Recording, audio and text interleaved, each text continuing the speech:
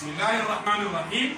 24 رجب 1442 هجرية. الموافق 8 3 2021 ميلادية. المحور رياضيات حتى نخوض في درس اليوم دعونا نمهد بلاد لدي خط عددي. لدي خط عددي. حيث النقطة واو مسافتها صفر والنقطة باء مسافتها اثنين وحدة وأيضا النقطة ج تبعد من النقطة صفر. مسافة قدرها ثلاثة وحدات إذا نقول القيمة المطلقة للعدد اثنين هي اثنين. لماذا؟ لأنها بعدت من النقطة واو مسافة قدرها اثنين وحدة نقول القيمة المطلقة للعدد سالب ثلاثة هي ثلاثة. لماذا؟ لأن النقطة ج بعدت من النقطة واو مسافة وقدرها ثلاثة وحدات إذا درسنا لهذا اليوم تحت عنوان القيمة المطلقة لعدد صحيح.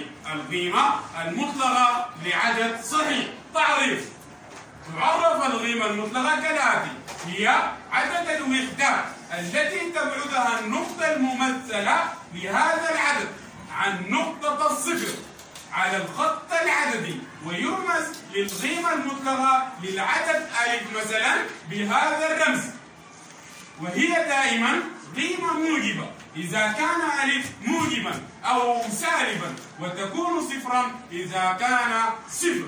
القيمة المطلقة للأعداد 26 سالب 11 سالب 96 طيب القيمة المطلقة ل 26 هي 26 وأيضا القيمة المطلقة لسالب 11 هي أيضا 11 والقيمة المطلقة لسالب 96 هي 96 مثال اثنين قيمة ما يأتي القيمة المطلقة للعدد 17 زائد القيمة المطلقة للعدد سالب 13 الحل. طيب القيمة المطلقة للعدد 17 هي 17 والقيمة المطلقة للعدد سالب 13 هي موجب 13 ماذا ألاحظ؟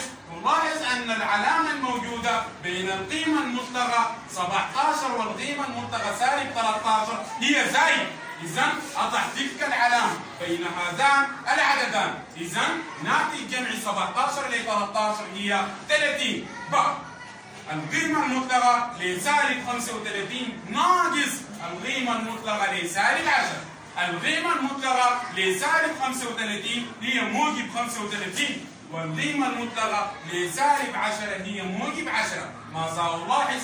وجود علامة ناقص بين هذان القيمتان. إذا أضع تلك العلامة. 35 ناقص 10 يساوي 25 ج القيمة المطلقة للعدد 10 ناقص القيمة المطلقة للعدد سالب 5 زائد القيمة المطلقة للعدد سالب 15 طيب القيمة المطلقة للعدد 10 هي موجب 10 والقيمة المطلقة للعدد سالب 15 هي موجب 5 أو للعدد سالب 5 هي موجب 5 ماذا ألاحظ؟